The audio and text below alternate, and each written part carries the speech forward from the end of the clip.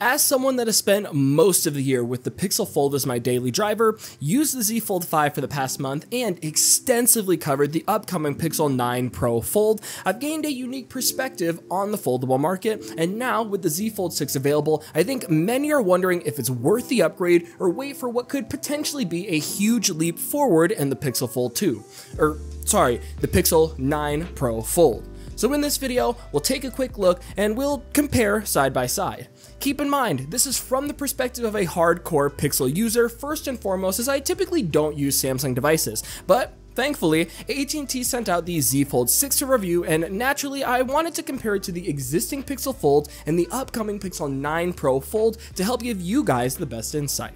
Either way, let's start with the hardware, and honestly, Samsung continues to simply kill it in this area, delivering top tier displays, a top tier processor in the Snapdragon 8 Gen 3 for Galaxy, with a premium design and build, while yes, also having decent cameras for a foldable.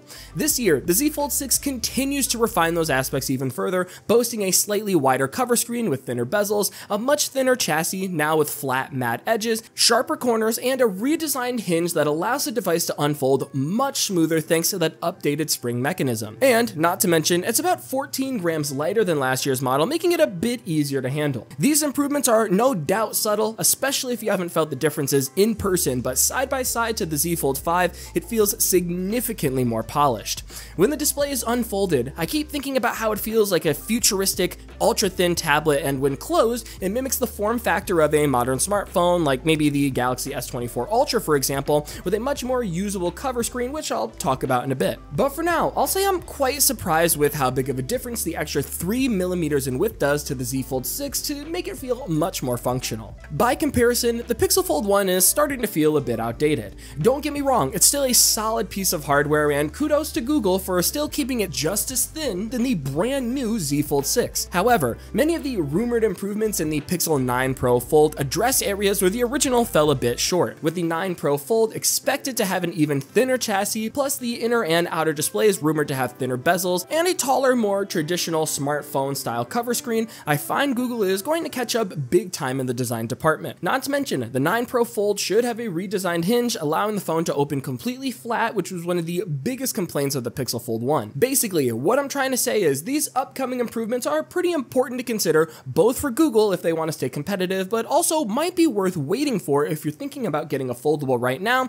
and you're trying to pick between the Z Fold 6 6 and the Pixel 9 Pro Fold. Switching over to screens, I do think the Z Fold 6's cover display is pretty much perfect in my opinion. After spending the past month with the Z Fold 5, I do agree with those that say it still felt a bit narrow, not unusable, but I definitely noticed content being cut off in YouTube in particular, where I could rarely see the view counts in the subscription feed, whereas now I see them much more often. Needless to say, the improvements to the cover screen this year I am mostly very happy about. It's about 3mm wider, as I mentioned earlier, so all the normal tasks like typing, video watching, or just scrolling through apps allows more room for content to breathe a bit while still being relatively easy to use one-handed. And of course, we have that gorgeous 7.6 inch inner display. In this regard, the size changes don't really feel as noticeable here as it's mostly the same dimensions as last year. I do find the squared off edges make the display feel more immersive, the matte plastic bezel is a perfect anchor point to hold it in tablet form while in use, and the crease has had a bit of a change as well. While it's not a drastic improvement, the crease of the Z Fold 6 is less noticeable than the 5, feeling more like a tiny thin line rather than a deep indent,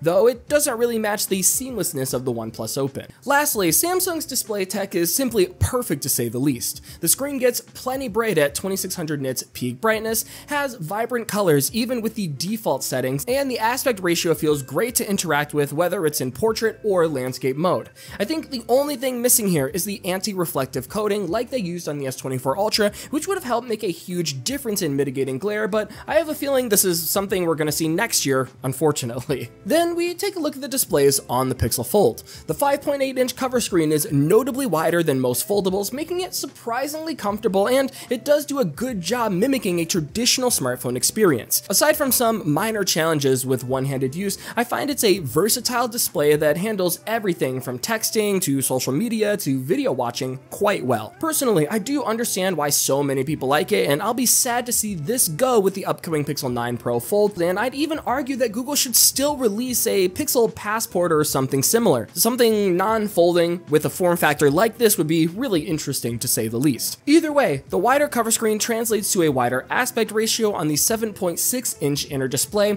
primarily optimized for landscape mode and has a lot of parallels to the Pixel tablet. For the most part, I find it to be equally as capable as the Z Fold 6's inner display, great for videos, spreadsheets, and multitasking, although the Pixel Fold's inability to unfold completely flat makes gaming feel a little bit less stable if that makes sense. I also found portrait mode to be a bit awkward on the Pixel Fold as well, unlike the Z Fold 6 which felt comfortable in both orientations. The crease on the Pixel Fold is more pronounced too, causing a ton of glare in outdoor environments, and it is hard to look past it, especially with the lower peak brightness compared to the competitors. Although the leaked images of the Pixel 9 Pro Fold suggest there's going to be a ton of changes in the displays department.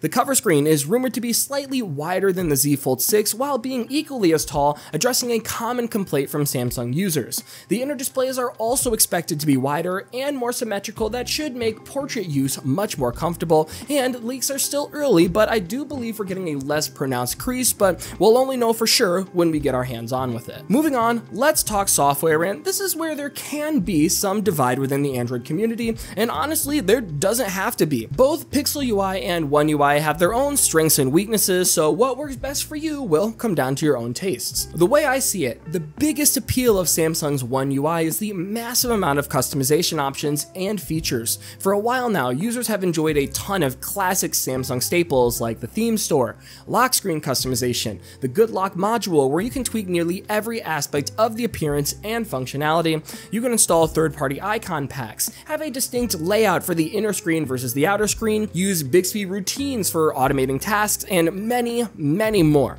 Plus, there is a ton of features for power users as well, like S Pen support, which feels right at home on the large inner display, DeX mode for that PC desktop like experience, and Link to Windows, where you can access your apps, manage notifications, and more from your PC to your Z Fold 6.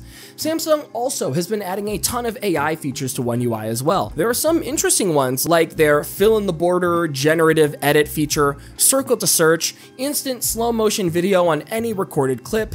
Samsung Notes in particular is really benefiting from this as well with the ability to draw a rough sketch of an item where AI will fill in the gaps for you. It can automatically clean up your handwriting, auto format your notes, or summarize a longer note document.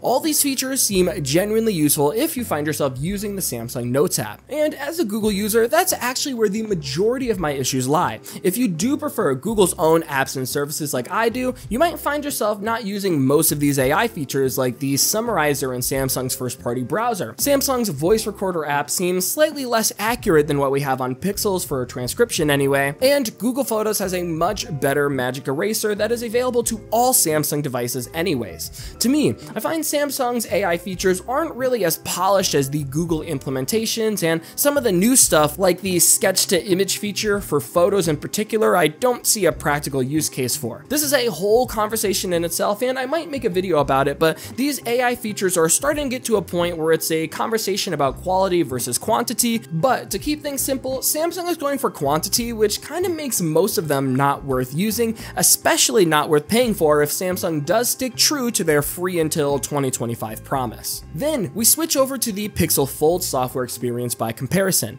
I've spent many years at this point with Pixel UI in general, and I can confidently say it's a clean, familiar interface that many Android users appreciate for its minimal aesthetic, intuitive navigation, and smooth animations. From my perspective, it's also designed to have a lot of features that simply work in the background with no hassle. Things like call screening to block unwanted contacts, smart replies suggesting responses with conversational awareness, now playing that seamlessly identifies music and displays it on your lock screen, at a glance that gives relevant alerts throughout the day, and adaptive battery which learns your usage patterns to optimize accordingly, just to name a few.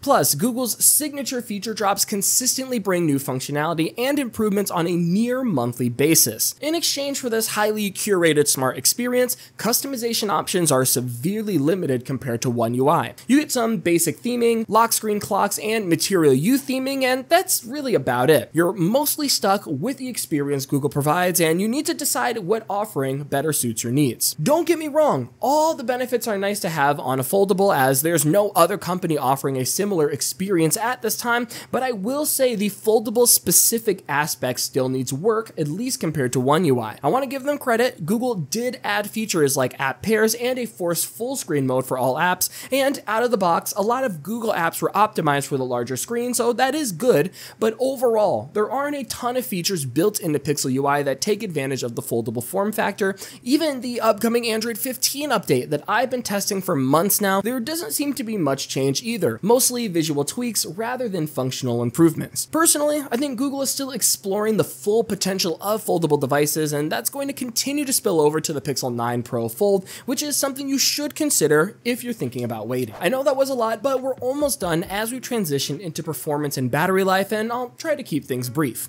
Long story short, the Z Fold 6 is powered by the latest Snapdragon 8 Gen 3 for Galaxy paired with 12 gigs of RAM, and it's pretty much exactly what you would expect from a flagship Snapdragon device. It's reliable and smooth for gaming, allows for quick multitasking, and is more than enough for everyday tasks. I do find it can still get warm during very high intensity gaming sessions with Warzone Mobile or Genshin Impact at max settings, which can result in some thermal throttling, but otherwise it's a solid experience. Battery life for that Snapdragon processor is pretty decent too, leaving me with typically 20 to 25% at the end of a mixed use day, consisting of videos, texting, calls, gaming, music, maps, and more, which translates to roughly 10 hours of on-screen time whether I'm on data or Wi-Fi.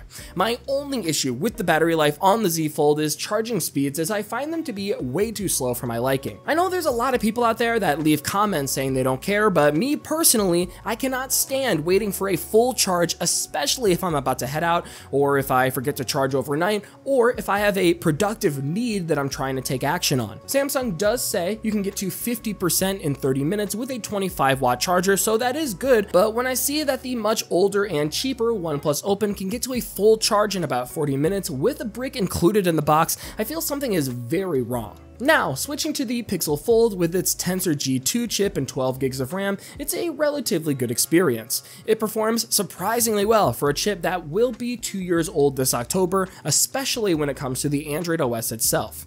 Google has nailed the performance as everything feels fluid and responsive from opening apps to navigating the UI and those high frame rate animations. Pixel UI is simply rock solid in performance and even surpasses the fluidity I see in some Snapdragon enabled devices, so it is great there. As we know, the Tensor G2 is not really a gaming powerhouse, so you will have to lower graphics settings quite a bit on more demanding titles like Warzone Mobile or Genshin Impact while taking more frequent breaks in between. But for more optimized games like I mentioned earlier, the G2 does just fine. Battery life, however, I don't think is even close to the Z Fold in my opinion. I average around 8 hours of on-screen time on Wi-Fi only and maybe around 6-ish when it comes to data usage. In fact, cellular performance, at least in my opinion, is one of the weakest aspects of the Pixel Fold. Whenever I'm on data, I can typically expect the device to get warm, especially if using maps or other resource-heavy tasks for a long period of time, and I notice I'll be hovering around 2 to 3 bars when I'm at the office, where my Snapdragon-enabled device constantly stays around 4 to 5 bars. The rumored Pixel 9 Pro Fold will be packing the Tensor G4 and 16 gigs of RAM along with a new Samsung modem that should bring improvements. The Tensor G4 is is going to use Samsung's latest 4nm process and a new packaging method to help keep things cool.